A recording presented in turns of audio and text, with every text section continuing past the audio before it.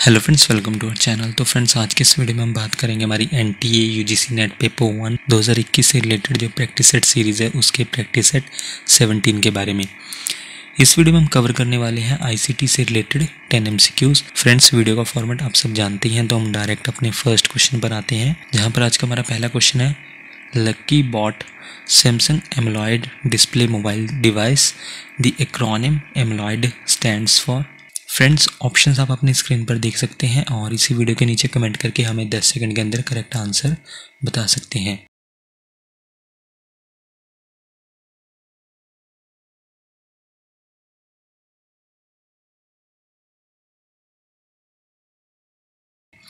AMOLED stands for option C active matrix organic light emitting diode question number second है in context with mobile telecommunication what is the full form of C D M A यानी कि mobile दूरसंचार के संदर्भ में सी D M ए का आपको पूरा रूप बताना है।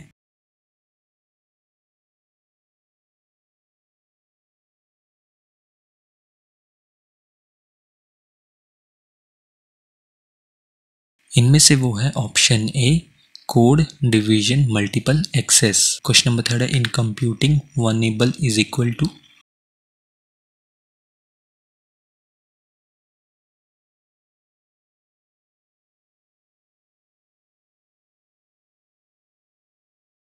computing में एक निबल इक्वल होता है किसके? ऑप्शन ए फोर बिट्स के। क्वेश्चन नंबर फोर में आपको बताना है R S S in computer language stands for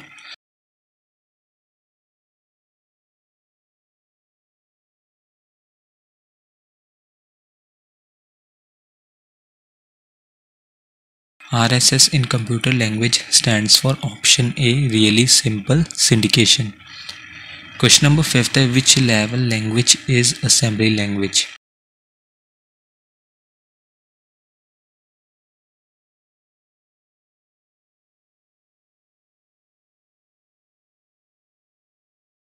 इनमें से option C low level programming language क्या है?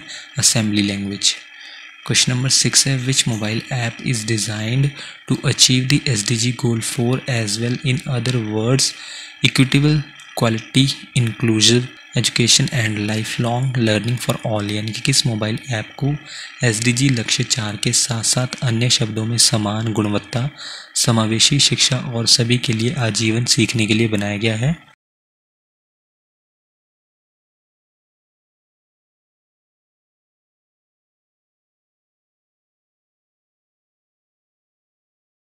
इनमें से वो मोबाइल ऐप है ऑप्शन डी ई पाठशाला, जिसे डिज़ाइन किया गया है किसे अचीव करने के लिए एसडीजी गोल फोर को, यानी कि सस्टेनेबल डेवलपमेंट गोल फोर को अचीव करने के लिए बनाया गया है ई पाठशाला मोबाइल ऐप को।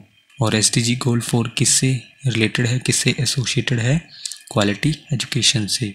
क्वेश्चन नंबर सेवन है to connect to the internet and other computers on a network computer must have a dash installed यानी कि इंटरनेट और अन्य कंप्यूटर को नेटवर्क पर कनेक्ट करने के लिए एक कंप्यूटर में एक डैश स्थापित होना चाहिए।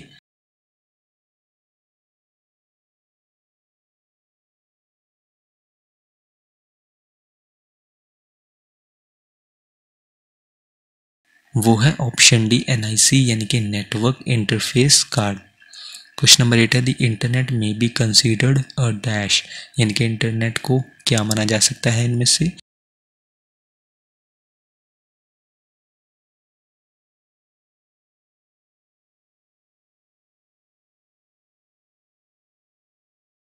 Option B wide area network यानी कि इन शॉर्ट आप कह सकते हैं वैन क्वेश्चन नंबर नाइन है the dash is a standard network protocol used for the transfer of computer files between a client and server on a computer network.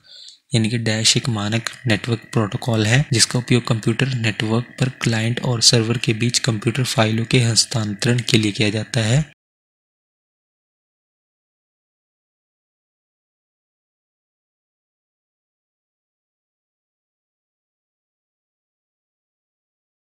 इनमें से वो स्टैंडर्ड नेटवर्क प्रोटोकॉल है option A, file transfer protocol in short FTP आज का हमारा last question है question number ten the dash is a communication protocol for electronic mail transmission it is a program used for sending messages to other computer users based on email addresses यानी कि dash electronic mail हस्तांतरण के लिए एक संचार protocol है। यह एक प्रोग्राम है जिसका उपयोग ईमेल पतों के आधार पर अन्य कंप्यूटर उपयोगकर्ताओं को संदेश भेजने के लिए किया जाता है।